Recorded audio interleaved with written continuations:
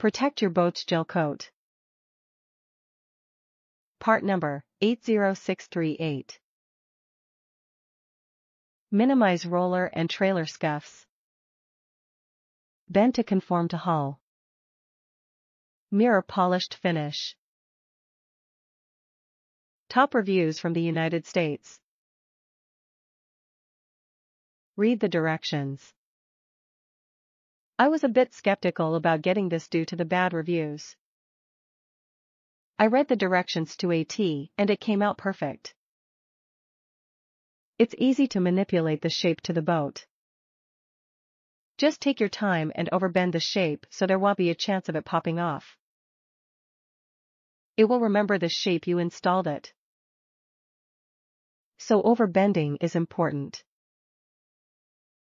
I installed it at our boat ramp so I could float the boat away from the install area. If you do it right it will work.